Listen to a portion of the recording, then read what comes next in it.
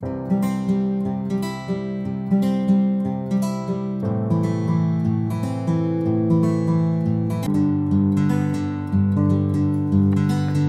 chào tất cả các em đã đến với lớp học văn của cô Thu ngày hôm nay.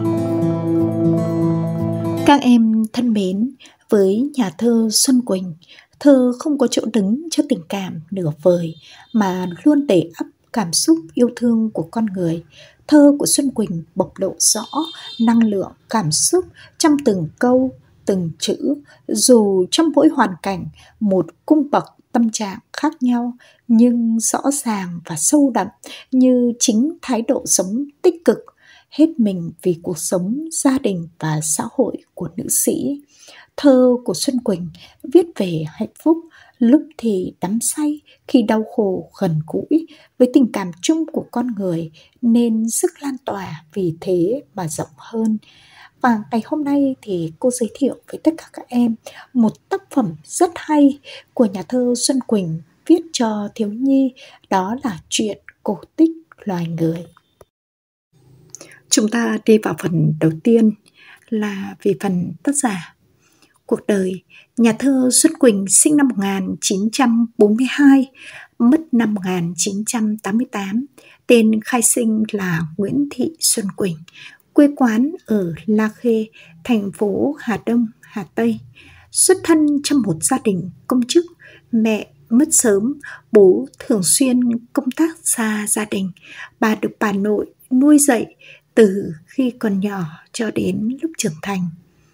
Về sự nghiệp sáng tác thì thơ của Xuân Quỳnh giàu cảm xúc với những cung bậc khác nhau như chính tính cách luôn hết mình của nhà thơ Xuân Quỳnh Thơ của bà là tiếng lòng của một tâm hồn phụ nữ nhiều chắc ẩn, vừa hồn nhiên, vừa chân thành, đầm thắm và luôn ra diết trong khát vọng hạnh phúc đời thường.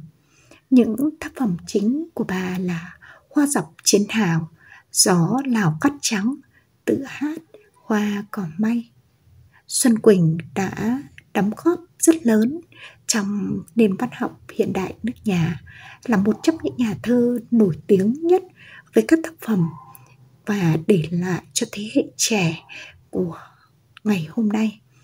Về nhận định thì nhà phê bình văn học Lưu Khánh Thơ đã từng có cái ý kiến như thế này. Đọc thơ Xuân Quỳnh, người ta không có cảm giác như tác giả cố ý làm thơ, mà thơ chỉ tự nhiên, nhẹ nhàng, là tiếng nói chân thật từ sâu trong tâm hồn chứ không cố gắng gượng ép bản thân phải sáng tác về những triết lại lý khô khan vì vậy giọng thơ của chị thủ thỉ, tâm tình, giạt rào như những đợt sóng tình cảm, lúc thì nhẹ nhàng, vỗ về, lúc lại cuồn cuộn, dâng trào. Chúng ta đi vào phần tìm hiểu về tác phẩm. Thì xuất xứ và hoàn cảnh sáng tác tác phẩm chuyện cổ tích về loài người được trích từ lời du trên mặt đất, sáng tác năm 1978 bố cục gồm có 4 phần phần thứ nhất khổ 1 giới thiệu sơ lược về thời sơ khai phần thứ hai khổ 2 là sự ra đời của thiên nhiên Phần thứ ba, khổ 3, 4, 5 là sự ra đời của gia đình. Phần thứ tư thì khổ 6 là sự ra đời của xã hội. Tác giả đã sử dụng phương thức biểu đạt là biểu cảm. Tác phẩm là kể lại một cách sinh động về sự ra đời của loài người. Mọi thứ từ mặt trời, mẹ, bố, mặt bể, con đường, trường, lớp đều sinh ra để phục vụ cho những nhu cầu của trẻ con. Qua đó, bài thơ đã bộc lộ tình cảm yêu mến đối với con người, nhất là trẻ. Trẻ em cần phải được yêu thương, chăm sóc, dạy dỗ.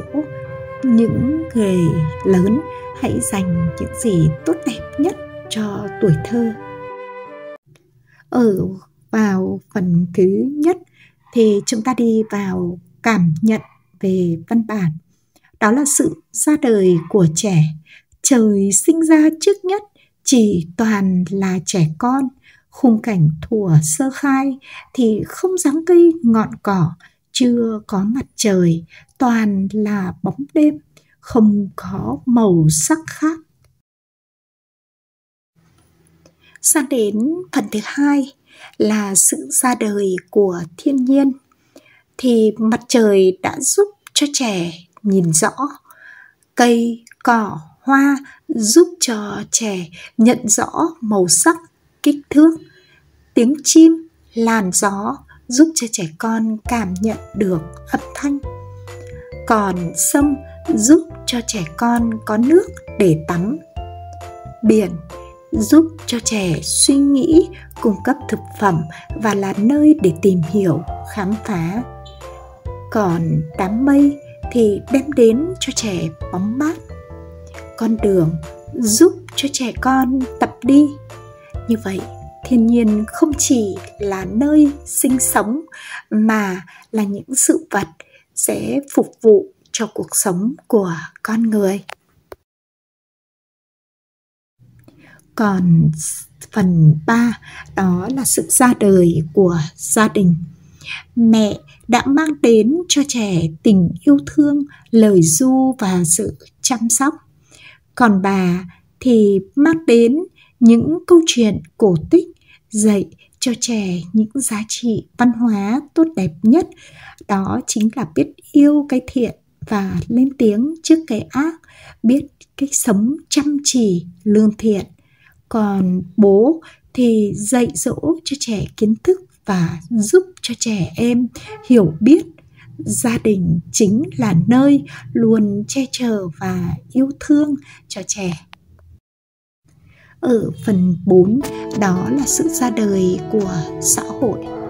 Chữ viết, bàn ghế, cục phấn, cục bảng, trường học đều là những đồ dùng học tập của trẻ. Thầy giáo, cô giáo sẽ là người dạy dỗ, cung cấp kiến thức cho trẻ.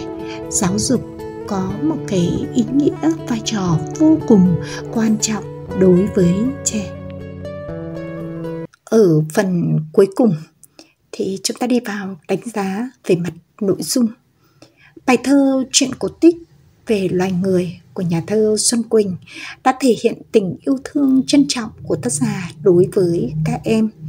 Qua bài thơ, tác giả muốn gửi đến thông điệp trẻ em là trung tâm của cuộc sống, là ngọn nguồn hạnh phúc lớn lao đối với mỗi gia đình, là tương lai của đất nước.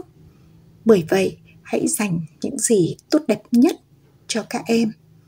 Với thể thơ năm chữ, cách nói rất là ngộ nghĩnh, trí tưởng tượng phong phú, độc đáo với hình ảnh thơ kỳ lạ, bay bổng, cách kết hợp các biện pháp tu từ, điệp ngữ, so sánh, nhân hóa, sinh động, hấp dẫn, ngôn ngữ, cô đọng, ngắn gọn, xúc tích, dễ hiểu, cấu trúc nói ngược làm cho bài thơ có một diện mạo riêng, ý vị hóm hình, vui tươi mà vẫn đầy chất thơ.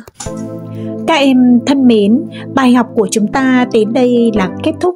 Cảm ơn tất cả các em đã theo dõi và ủng hộ cho kênh học văn của cô Thu.